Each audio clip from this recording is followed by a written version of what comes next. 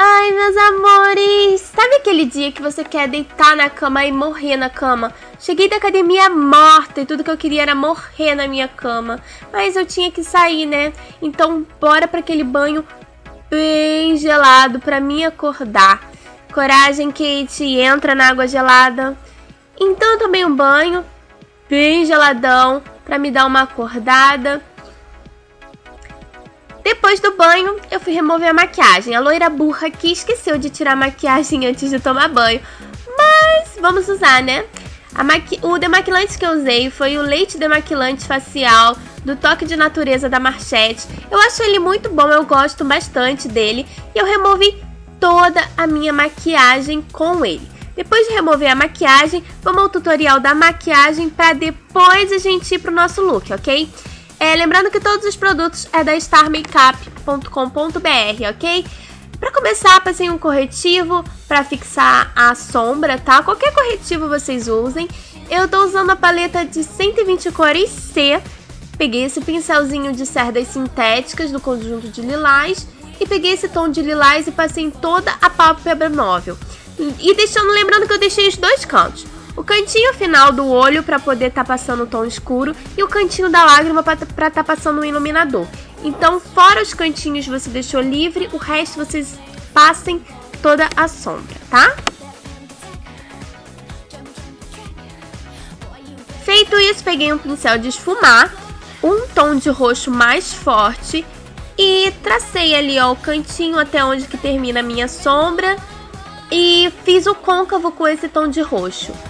Fui esfumando, esfumando, arrumando até ficar da forma que eu queria que ficasse, tá? Então é isso. Agora é só esfumar e passando mais sombra e ajeitando até ficar do jeito que você quer que fique, tá bom?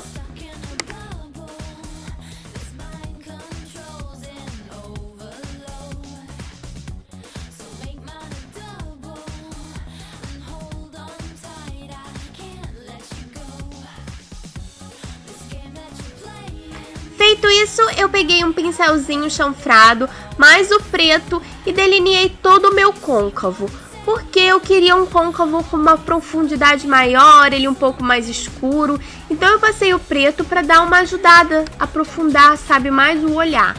Então eu passei ali, depois eu peguei aquele pincel de esfumar e fui esfumando o preto, colocando um pouquinho mais de preto no final do olhar.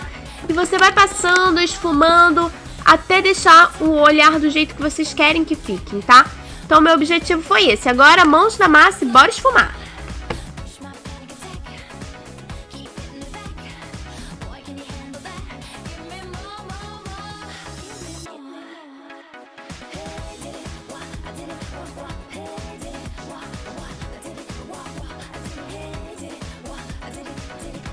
Agora eu vou pegar um pigmento da Leixa esse pigmento é o 12 da Leixa.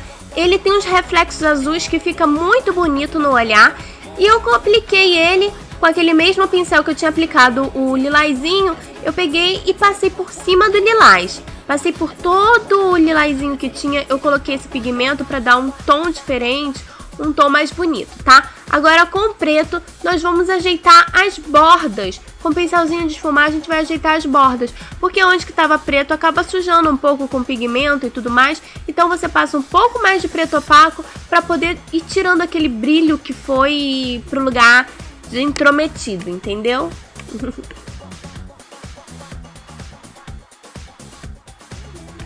Agora com esse outro pincel de esfumar, eu peguei um tom marrom e fui é, esfumar a beiradinha do preto. Porque, como eu falei, eu quero um olhar bem marcado, um olhar bem assim com uma profundidade grande. Então o marrom vai ajudar a, naquela profundidade que eu quero no olhar. Às vezes eu uso o dedo assim para poder ajudar a esfumar um pouco mais, porque eu acho que o dedo dá uma suavizada assim melhor, sabe? Então você vai igualando sempre os olhos e passando o dedo e fazendo para ficar bonitinho. Com esse pincel mais achatadinho, eu peguei um pigmento um pó iluminador da Veritica It. Eu acho esse pó maravilhoso para iluminar. E eu peguei ele, ele é o número 11, tá? E peguei e iluminei rente a sobrancelha, tá bom? Troquei de pincel, peguei um pincelzinho mais fininho e com a mesma sombra eu iluminei o cantinho da lágrima ali, passei pra dar todo um, um charmezinho, sabe, no olhar. É esse cantinho mais iluminadinho, tá bom? Agora, peguei o lápis da Milani, lápis preto, e passei na linha d'água, como eu sempre passo. Eu amo esse lápis, vocês sabem disso. E passei na, na linha d'água, passei também, aproveitei e passei ali no cantinho ali da lagriminha também. E acho que ficou bem legal.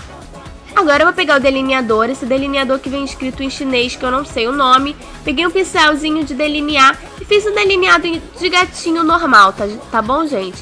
Só vocês irem puxando o tracinho e vai indo fazendo delineado de gatinho.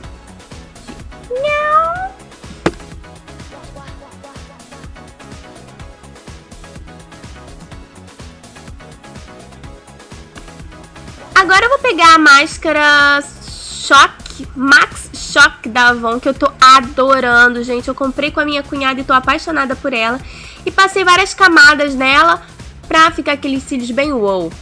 Como vocês podem ver, ficou algumas sombras, assim, alguns pigmentos caídos no rosto. Então eu peguei um pó da Avon meu normal, o pó que eu tô acostumada a usar, e passei na pele pra tirar esse excesso de brilho que caiu na pele, tá? É... Feito isso, eu escolhi um batonzinho, o batom da NYX. Esse é o Circe da NYX 522. Eu adoro ele, ele é um tom de nude, tá bom? Mas vocês poderiam também ter colocado um tom rosinha, que eu acho que também ficaria legal. Ele é bonito. O blush, eu usei da paletinha de 10 blush, aquele laranjão que eu uso em todos os tutoriais. Passei aquele laranja, que eu adoro. Vocês sabem disso. E tá pronta a maquiagem. Agora vamos ao nosso look, a parte mais legal do vídeo. então, gente, na hora do look é sempre aquela coisa mais chata. Você para em frente ao guarda-roupa e fica horas até achar o que usar, né? Dessa vez eu escolhi um look bem legal que a De Mulher para Mulher me mandou. Vou deixar o link do site aqui embaixo para vocês estarem entrando, tá bom? Os acessórios eu escolhi esse Max Colar, que eu achei que ele é mais ou menos do tom da saia. E ficou bem legal com o look, tá bom? É... Peguei também algumas pulseirinhas, umas pulseirinhas de pérolas para combinar com o detalhe da saia que vocês já vão ver, tá? Peguei umas duas pulseirinhas de pérola que eu achei que ficou bem legal, tá? É... Peguei também um anelzinho, um anelzinho de falange com uma tartaruguinha na frente super linda, super fofa e meiguinha, que eu amei, tá? Depois disso, tá pronto o nosso look. Espero que vocês gostem. A blusinha de cetim azulzinha, muito bonitinha. Com essa sainha que é muito amor, gente. Essa saia é linda, de rendinha. E tem bolinhas, olha.